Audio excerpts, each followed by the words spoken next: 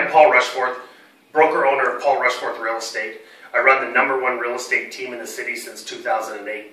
Some of the things that have made us, made us successful are our guaranteed sale program. I give moving trucks to our clients to help them with their move. Um, I have a large team atmosphere and I have a lot of admin staff which help our, our agents go out and sell your home stress free, risk free.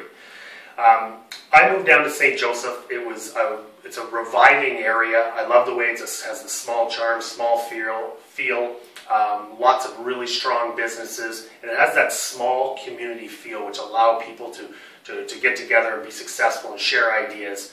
Um, on now, social media? No. No, businesses uh, showcase. Yeah. Um, October 20th, we're having a business showcase. Paul Rushforth Real Estate is the title sponsor. It's a great opportunity to get businesses together, share ideas, like minded individuals, and it's a great event. So come Shenkman Arts Center October 20th, register for a booth, and, and join us there. And then, Paul, the last thing I want you to talk about is your Habitat for Humanity that you just did this past week.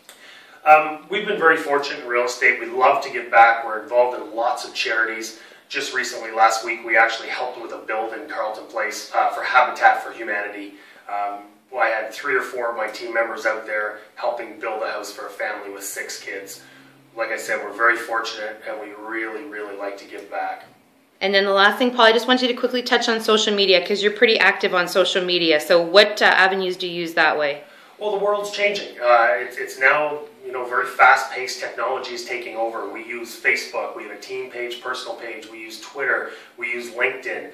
Uh, we're using lots of different technologies that allow us to get out in the public very easily and, and, and seamless. Great.